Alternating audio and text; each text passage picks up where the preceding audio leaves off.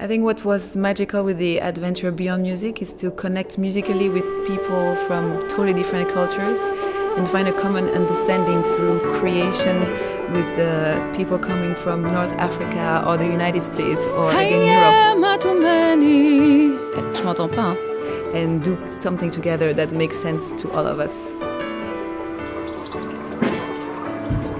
Mais je peux dire en français ou pas Hi, my name is Syssi Mananga and I'm from Congo.